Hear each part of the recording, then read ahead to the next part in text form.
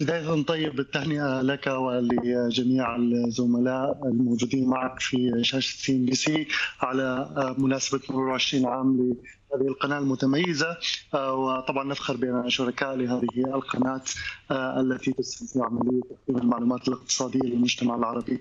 آه، إجمالا بالنسبة أو عودة سريعة للأسواق الأسواق تنتظر قرار الفدرالي بشكل مهم جدا خلال تعاملات هذا الأسبوع الاحتمالية رفع أسعار الفائدة. بدأنا بدأنا نراها في السوق من نهاية تعاملات الأسبوع الماضي حقيقه مع قوة في الدولار الأمريكي بشكل واضح واحتمالية آه، رفع سعر الفائدة أصبحت نوعا ما تؤثر بعودة الدولار الأمريكي الذي كانت تحت ضغط في الأسبوعين الأخيرات من آه، جراء بيانات التضخم التي جاءت بشكل آه، أفضل من المتوقع عن صح التعبير آه، لأنه آه، حقيقة هي أقل من التوقعات ولكنها تقترب من الهدف عند 2% وبالتالي يعني كان هناك الدولار الأمريكي تحت ضغط شديد أنه لا حاجة لرفع أسعار الفائدة. ولكن مع اقترابنا أكثر ونتذكر ما ما صرح به أعضاء الفدرالي الأمريكي وعلى رأسهم جيران باول بضرورة وصول المستهدفات إلى 2% وأن خطة رفع سعر الفائدة مرتين خلال تعاملات هذا العام لا تزال على أجندة الفدرالي أعتقد السوق عاد ليسعر هذا الأمر مرة أخرى وبالتالي يترفع سعر الفائدة آه، وارد وارد جدا ب 25 نقطة أساس على آه، آه، يعني طبعا طيب. كذلك الأمر بالنسبة للمركزي الأوروبي طيب يعني رأيت برأيك قد تكون هذا أو هذا الرفع قد يكون هو الأخير خلال 2023 أم نشهد رفع آخر برأيك؟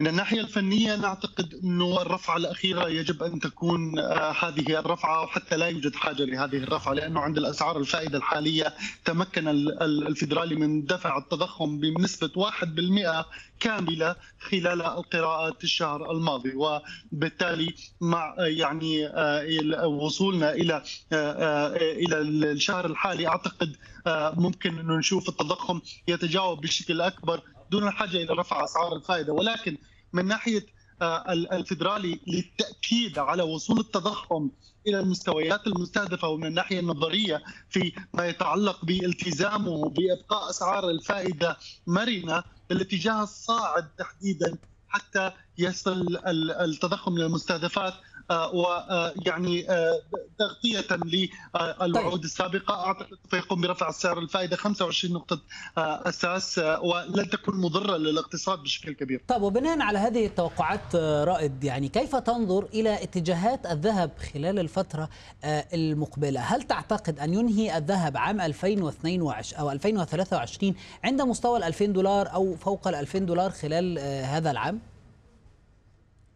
يعني أعتقد قوة الدولار الأمريكي مرهونة بشكل كبير جدا باجتماع يوم الأربعاء، أنا من يعني أراها أنه هذه هي الرفعة الأخيرة ولن يتمكن الفدرالي من رفع أسعار الفائدة بشكل أكبر وبالتالي السيناريو الصاعد على أسعار الذهب الهابط على أداء الدولار الأمريكي اجمالا ممكن أن يبتدأ بتفعيله من يوم الأربعاء القادم. ومن ثم نرى مستويات أعلى على أسعار الذهب وبالتالي تكون كفيلة بالوصول إلى 2000 دولار للأونصة خلال وقت قريب. ان ينهي تعاملات هذا العام فوق ال 2000 دولار أعتقد هو الاحتمالية الأكبر والأبرز لأنه سواء كان هناك رفعه جديدة في أسعار الفائدة أو سواء كان يعني هذا هو الرفعه الأخيرة التي قد تحدث. أعتقد كلا سيناريوهان يصبان في صالح قوة في الدولار آه، عفوا في الذهب في الفترة القادمة لأنه نحن نستشرف نهاية دوره التجديد السياسة تجديد السياسة النقدية ونستشرف بداية موجة صاعدة قوية على أسعار الذهب مستغلة لأداء الدولار الأمريكي الضعيف نسبيا وخلال الفترة القادمة ممكن يكون أيضا اقترابنا من نهاية تعاملات هذا العام يعزز الاقتراب نحو الملاذات الآمنة أكثر ونحو الذهب على وجه التحديد. الذي يبدو بشكل واضح أنه مراكز الشراء عليه هي الأكثر آه، آه، خلال الفترة الحالية وحتى نهاية تعاملات هذا العام. نعم رائد دعنا ننتقل للقارة العجوز إلى أوروبا الذي يبدو أنها آه، حارة. على كافة المستويات أجواء وأصداء اقتصادية مؤشر مديرين المشتريات آه، تراجع آه، دون المتوقع. ضبابية أيضا في معدلات التضخم الأخيرة خاصة التضخم الأساسي. إلى أي مدى ذلك يعطي الضوء الأخضر للبنك المركزي الأوروبي في المضي قدما في آه، تشدد أيضا آخر جديد؟